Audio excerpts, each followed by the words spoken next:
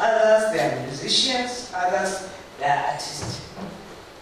And I want to say, as Hibiscus Coast, we are very pleased that you have chosen this place to come and do your festival. The gentleman down there used to come to my office and uh, come with uh, his proposals and all of that and show me. I think this is the time then you have to sit with the province. We will back you because as the local municipality, we don't have a budget for films, but we can back you to the province and say, yes, yes, started this for so long and uh, you are doing good. I wish you all the best.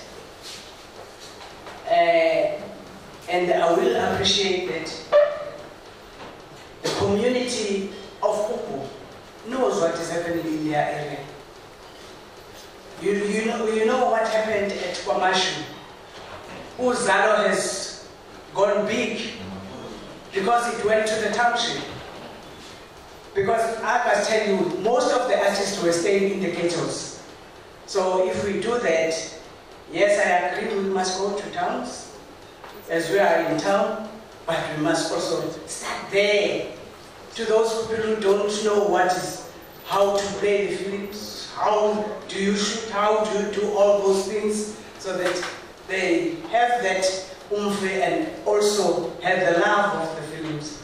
Looking at the film and the TV, but if you now know how they do it behind the scenes, you become more interested. I want to say welcome to everybody. It's nice to be with you. Thank you very much.